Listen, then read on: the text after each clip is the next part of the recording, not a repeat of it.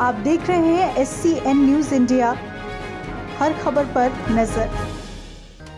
बैतूल अखिल भारतीय विद्यार्थी परिषद की जिला कार्यकारिणी द्वारा छिंदवाड़ा यूनिवर्सिटी के विरोध में जोरदार प्रदर्शन किया गया। सारनी, बगडोना सहित ज़िले के समस्त एबीवीपी छात्र संगठन के छात्र छात्राओं ने जिला मुख्यालय पर विशाल रैली निकाल प्रदर्शन किया।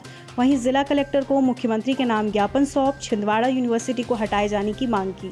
छिंदवाड़ा यूनिवर्सिटी को हटाए जाने की मांग करने के साथ एबीवीपी के छात्र छात्राएँ सैकड़ों की संख्या में जिला मुख्यालय पहुँचे थे, जिनका कहना है कि जब से ज़िले में महाविद्यालय छिंदवाड़ा यूनिवर्सिटी से जुड़ा है, शिक्षा का स्तर गिर गया है। वहीं सत्तर छात्र छात्राएँ फेल भी हो गए हैं। उन्होंने पुणे ज़िले के कॉलेजों को बरकतुल्ला विश्वविद्यालय से जोड़ने या बैतूल कॉलेज को यूनिवर्सिटी घोषित करने की मांग की है।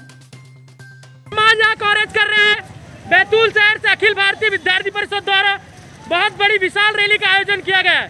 छात्रों की मांग है कि जो छिंदवाड़ा के अंदर एक यूनिवर्सिटी चलाई जा रही है, जो कमलनाथ के प्रयासों से चालू की गई थी, उस यूनिवर्सिटी को बदल करके भोपाल यूनिवर्सिटी में तब्दील कर दिया जाए।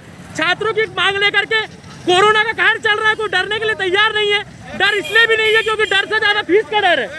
फ़ीस जिस प्रकार से बढ़ चुकी है, छात्र घबराए हुए हैं। घरों पर आर्थिक स्थितियाँ कमज़ोर है।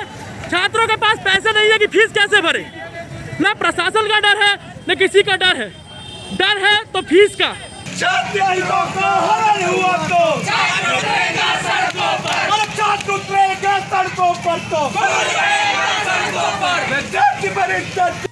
बैतूल से आशीष उगड़े की रिपोर्ट।